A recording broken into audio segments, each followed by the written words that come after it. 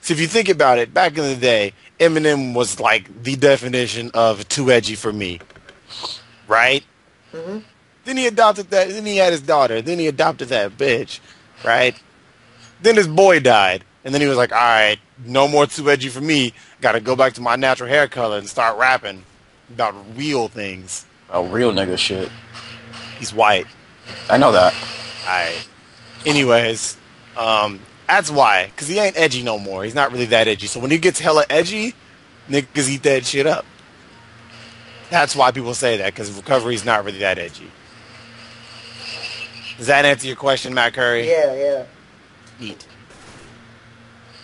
Like, like exa- best example